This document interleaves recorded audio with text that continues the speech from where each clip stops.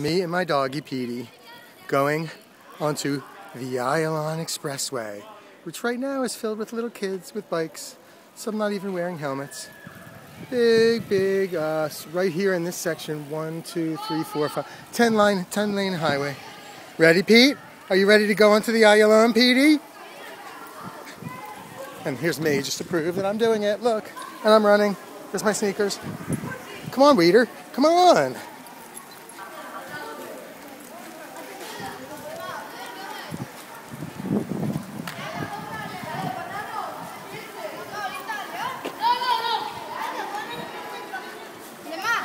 Gotta have snacks.